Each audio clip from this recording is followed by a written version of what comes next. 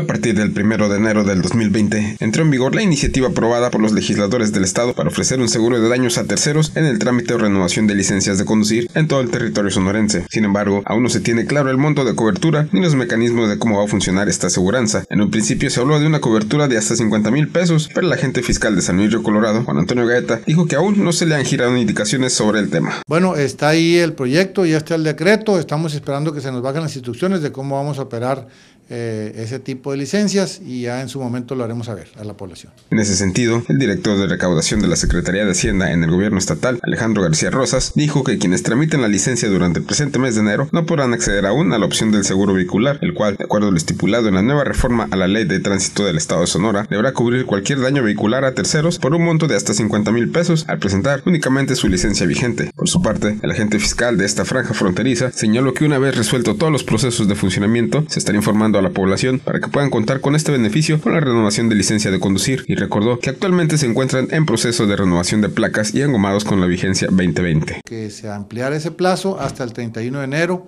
con lo cual ha habido muy buena respuesta. Entonces seguimos hasta el 31 de enero con los descuentos del 100% en recargos y 100% en multas. Ahí la modalidad no se puede convenir, simplemente se tiene que hacer una sola exhibición. Por último, señalo que quienes desean tramitar la renovación de sus placas pueden hacer sus pagos en cualquier institución bancaria de la localidad o bien mediante las tiendas de conveniencia y evitar así largas filas en la agencia fiscal. Cristian Arellano, Mega Noticias.